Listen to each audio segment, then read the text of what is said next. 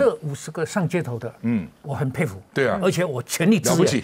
那我就觉得很奇怪，我们台湾不是有很多女性团体吗？嗯，怎么一个声音都没有？太奇怪了。我不是嘴巴讲支援他们，嗯，这五十个人此后一年内，嗯，如果有人受害，嗯，我全力支援，要捐多少钱？我都捐，嗯，我公开讲我都捐。赞。啊，不错，说到做到嘛，是。啊。但是以目前阿富汗的情况啊，我觉得这是一个大过渡时期，Great Transition Period。成绩型，嗯。啊，所以呢，包括喀布尔的的当权派，还有各地的散兵游勇的塔利班，包括 ISISK，还有呢中国、苏俄、美国，大家都各有盘算，嗯，每一个人都非常的小心谨慎，就说这个机会我不能失去，能够多吃一点就吃一点。我也同时在看别人怎么做，哦，总是在这个各方角逐的。这个场合里头，我不能是一个 loser，我一定要是一个 winner。哦，我觉得这个是目前的情况啊。但是有一点，我是相当反对的。拉美，你真不要脸！嗯，你现在还要结合卡布尔的塔利班的当权派去打 ISISK。我我已经讲过了，ISISK 为什么跟美国结仇这么深呢？所以呢，我认为只要 ISISK 不管它基地在哪里。只要他不犯你，只要他没有到美国本土去炸你的大楼、去杀你的人，我觉得老美最好放手。我觉得他如果这个 ISISK 在那个阿富汗里头作乱，那你就让卡布尔的塔利班跟他跟他两边处理就好了，你何必插一手呢？你现在为什么你走了以后要回头，要结合你刚刚没有办法打赢的？对手去处理另外一个对手，这个恨呐，这个叫此恨绵绵无尽期，你知道？这个老美哦，他那种就一天到晚要斗，然后一天到晚要占人家便宜，还有一天到晚这这是我不晓得怎么打才算是漂亮。我跟你讲，他如果犯你，我赞成你把他干掉；但是他如果不犯你，没有到你国境内的话，你少做这种打算。你做这种打算真的是很不要脸。嗯，来来来来进跑外交怎么看？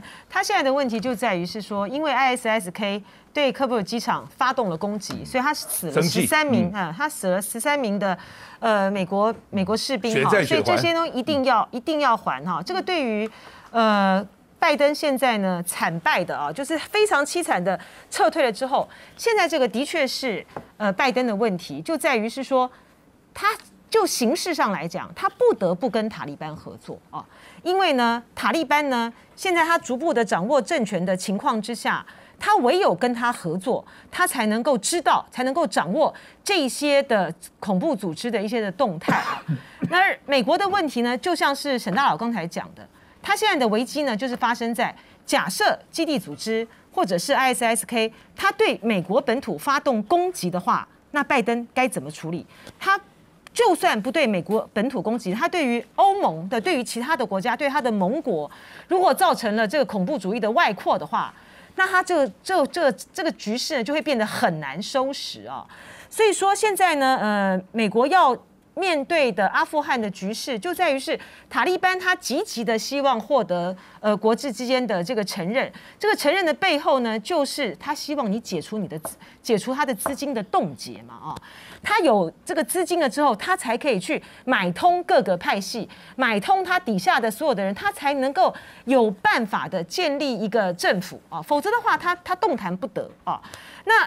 现在呢，美国呢遇到这个事情的时候呢，他必须要跟中国大陆，他必须要跟俄罗斯，要跟这些国家呢共同的去处理阿富汗的局势。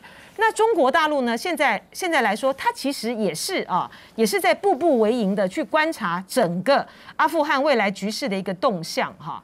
呃，大陆方面呢，其实把话其实说的是很清楚的啦啊。